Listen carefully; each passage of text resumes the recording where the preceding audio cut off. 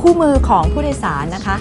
ที่จะมีแจกผู้โดยสารทุกคนระบุเอาไว้ชัดเจนค่ะ เกี่ยวกับการแต่งกายเวลาที่อยู่บนรถไฟ โดยเฉพาะอย่างยิ่ง เวลาที่จะไปทานอาหารมื้อเย็นนะคะ ผู้ชายจะต้องใส่สูทผูกไทยส่วนผู้หญิงจะต้องแต่งกายสวยงาม เหมาะสม เหมือนกับเวลาที่จะไปรับประทานอาหารค่ำในร้านอาหาร หรือว่าโรงแรมดีๆสักแห่งค่ะ เพราะฉะนั้นดิฉันก็เลยจะต้องทำตัว ให้เหมือนกับกฎที่เขาได้วางเอาไว้นะคะ เพราะว่าผู้โดยสารคนอื่นๆ ก็จะแต่งตัวให้ดูสวยงามให้เหมาะสมเข้ากับบรรยากาศเช่นเดียวกันค่ะ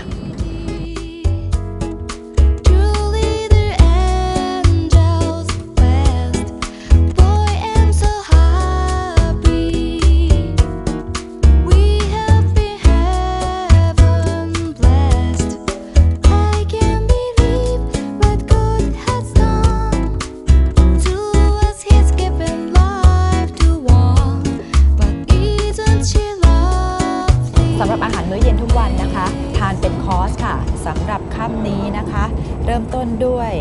อาหารเรียกน้ำย่อยก่อนเลยก็คือเกี๊ยวซ่านะคะ แล้วก็ต่อจากนี้ก็จะมีซุปข้นกุ้ง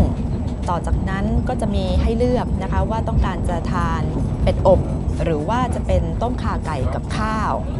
และหลังจากนั้นก็จะเป็นของหวานชาและกาแฟค่ะ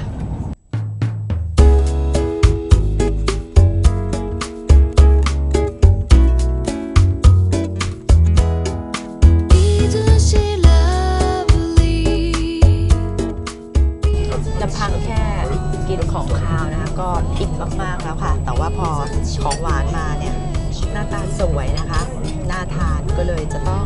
อย่างน้อยก็ต้องชิมสักนิดนึงค่ะ ข้างล่างนี่เป็นไอศครีมกล้วย ส่วนข้างบนเป็นมูสลิจีค่ะ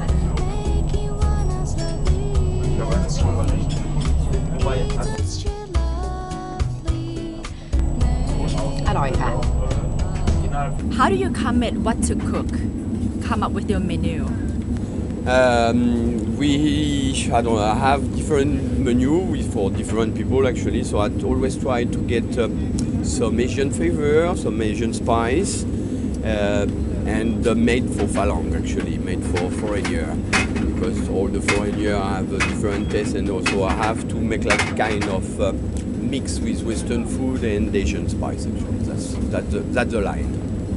Is it difficult to cook on a train? Uh, it's a bit difficult because it's moving, as you can see. It's a small space, quite narrow kitchen, as you can see.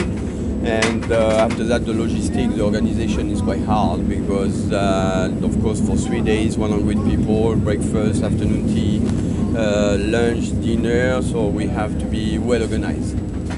The quality of the food and the service is just like any five star hotel, right? We try to have a high standard. yes. Uh, the, the, the, the line of the company is to get the best for a train, so which we work for that. After that is your judgment if it's a five star. I try, I, we try as much as we can anyway.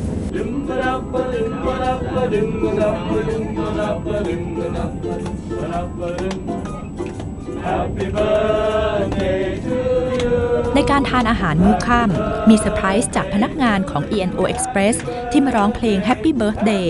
และมอบเค้กพิเศษให้ผู้โดยสารที่เกิดในวันนี้พอดีค่ะ นับเป็นเซอร์ไพรส์ที่สร้างรอยยิ้ม และความประทับใจให้แก่ผู้โดยสารมาก ๆ ค่ะ